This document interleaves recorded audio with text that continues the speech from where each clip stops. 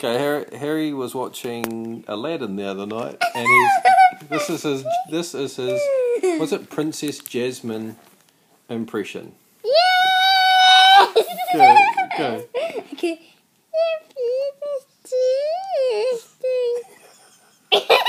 Go do it one more time.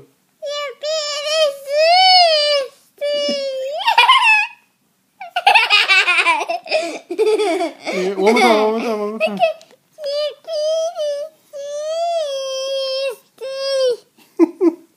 So there's a little bit where she like is trying to trying to fool Jafar into think thinking that she likes him, and this is and this is what she says.